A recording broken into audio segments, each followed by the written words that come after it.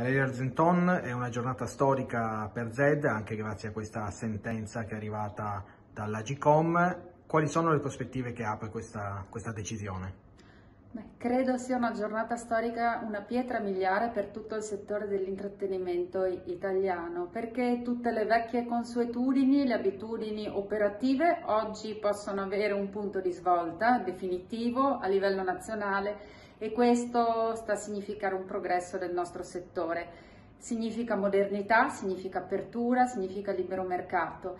E per noi, per tutti, come dicevo, rappresenta un momento di svolta e questa cosa è molto al femminile, è una storia che rappresenta tutte noi donne operatrici di questo settore, siamo poche, ma siamo molto determinate e, e credo che in un mondo dominato dagli, dagli uomini, soprattutto eh, appunto nel settore della musica e dello spettacolo dal vivo, eh, rappresentiamo una realtà che sa parlare, sa capire, ascoltare anche con il cuore. Io spero che questo sia un buon auspicio per il futuro, per il presente. Ovviamente l'emergenza sanitaria sta sovrastando tutta la nostra quotidianità, quindi siamo ancora chiusi da quasi un anno però con il vaccino in arrivo, con anche questa sentenza che fa capire che il mondo va avanti, secondo me possiamo guardare al futuro e pensare di fare una prospettiva nuova, tutti insieme, ricominciare a lavorare con il sorriso, con un po' più di umanità.